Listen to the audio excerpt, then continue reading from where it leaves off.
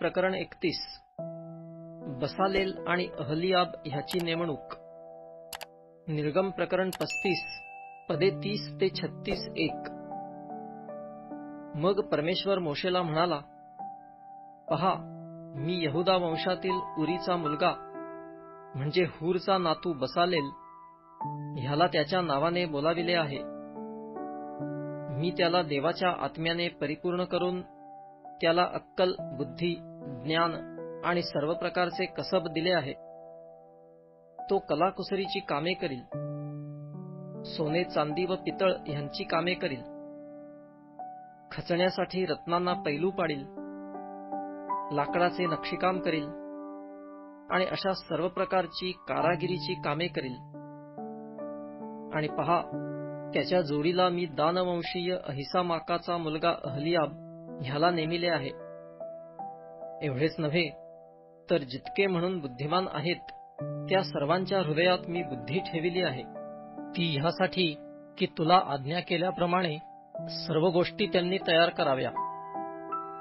म्हणजे दर्शन मंडप साक्षपटाचा कोश आणि त्यावरील दयासन आणि तंबूचे सर्व सामान मेज व त्यावरील सर्व सामान शुद्ध दीपवृक्ष व त्याची सर्व उपकरणे धूपवेदी होमवेदी व तिचे सर्व सामान आणि गंगाळ व त्याची बैठक कुशलतेने विणिलेली तलम वस्त्रे म्हणजे याजक ह्या नात्याने सेवा करण्यासाठी हरोन याजकाची पवित्र वस्त्रे त्याच्या मुलांची वस्त्रे अभिषेकाचे तेल व पवित्र स्थानासाठी सुगंधी द्रव्ययुक्त धूप ह्या सर्व गोष्टींविषयी मी तुला आज्ञा दिली आहे.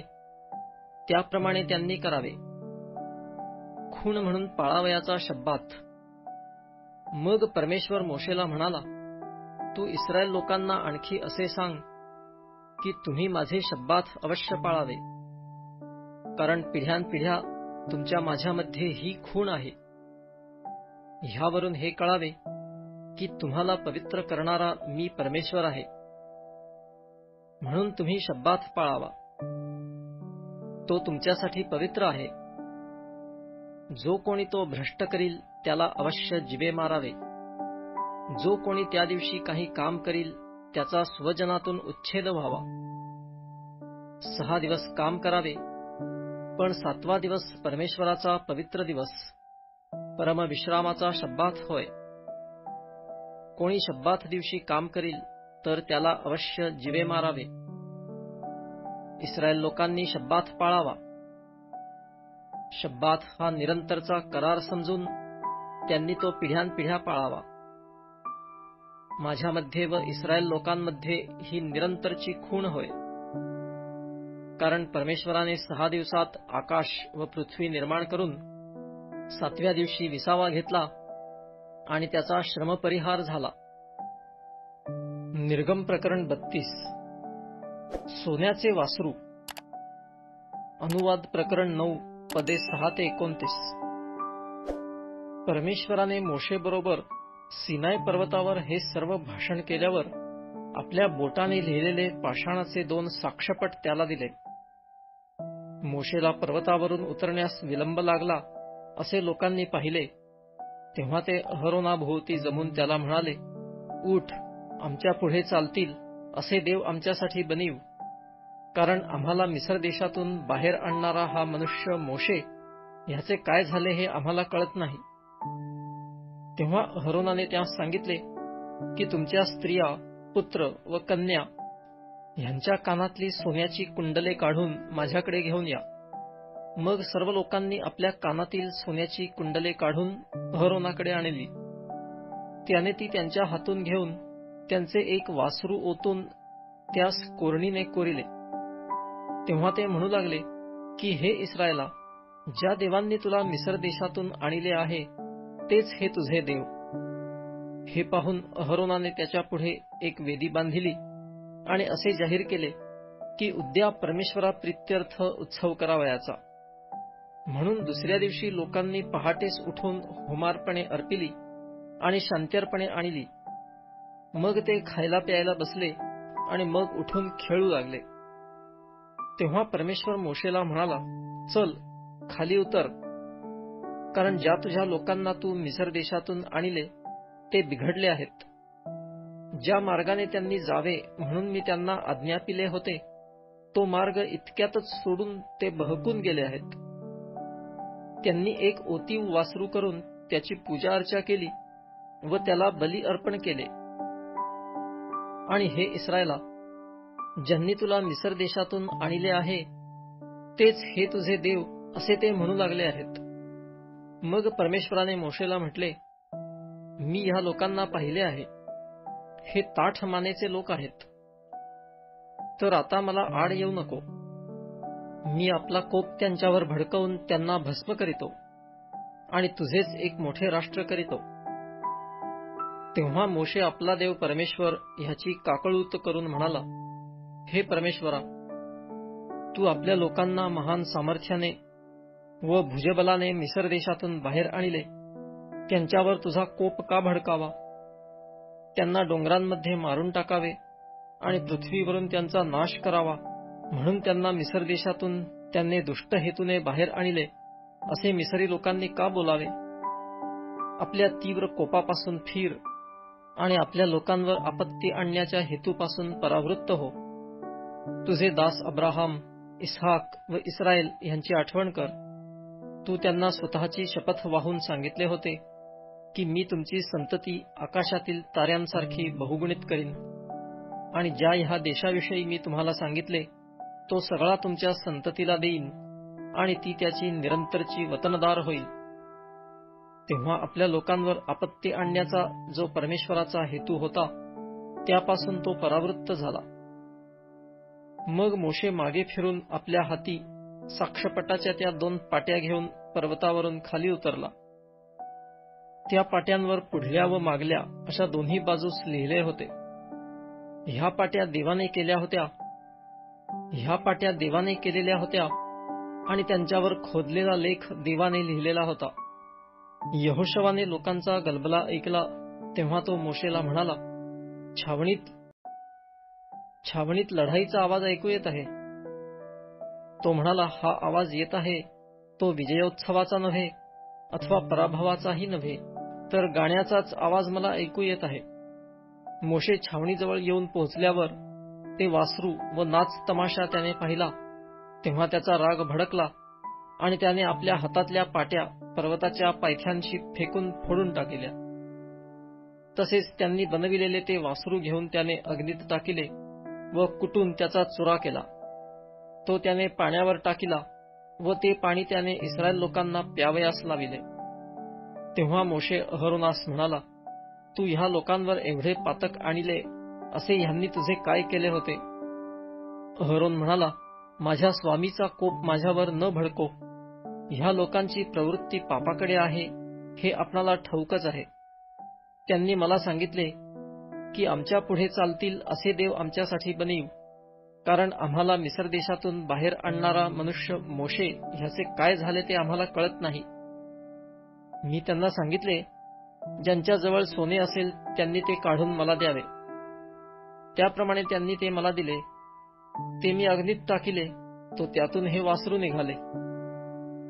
मोशेने पाहिले की हे लोक मोकाट सुटले आहेत.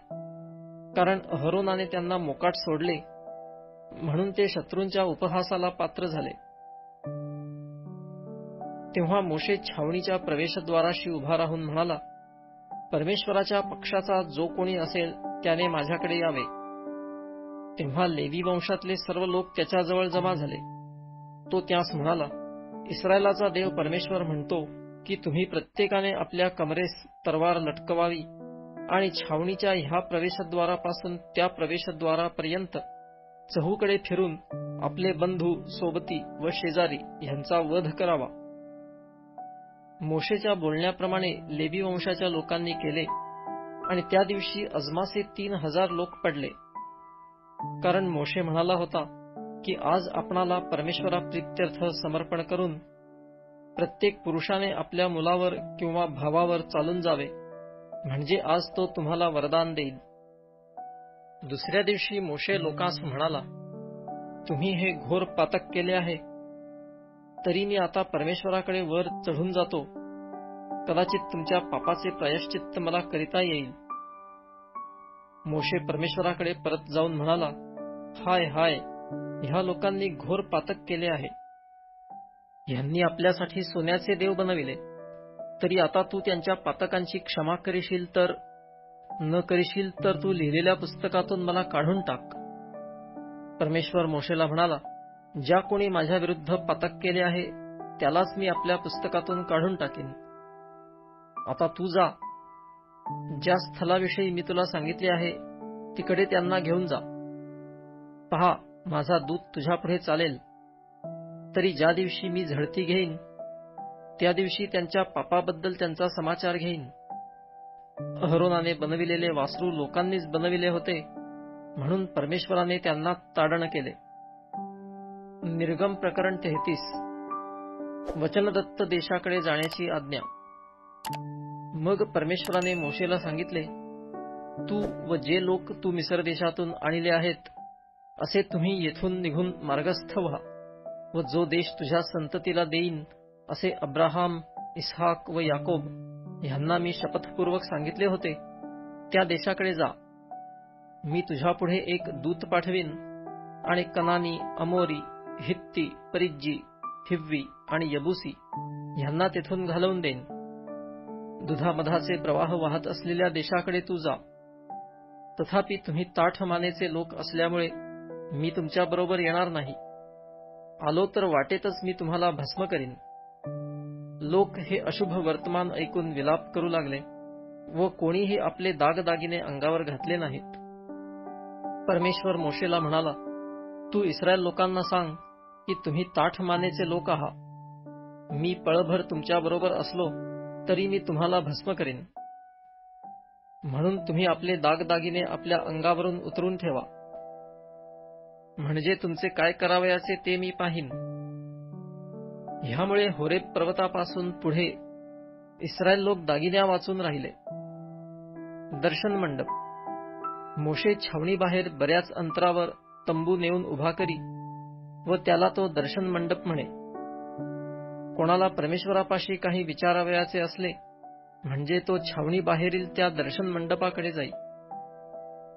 असे होई की जेव्हा मोशे त्या मंडपाकडे जाई तेव्हा सर्व लोक उठून आपापल्या तंबूच्या दारात उभे राहत आणि तो मंडपात प्रवेश करीपर्यंत त्याच्याकडे निरखून पाहत राहत. मोशे मंडपात प्रवेश करी तेव्हा मेघस्तंभ उतरून मंडपाच्या दारी उभा राही आणि परमेश्वर मोशेशी भाषण करी. त्या मंडपाच्या दाराशी मेघस्तंभ उभा आहे असे सर्व लोक पाहत तेव्हा ते सगळे उठून आपापल्या तंबूच्या दाराशी दंडवत घालीत. मित्रांशी बोलावे तसे परमेश्वर मोशेशी समोरासमोर बोले. मोशे छावणीकडे परत जात असे तरी त्याचा सेवक नुनाचा मुलगा यहोशवा हा तरुण पुरुष मंडप सोडून बाहेर येत नसे. परमेश्वराच्या समक्षतेचे आश्वासन.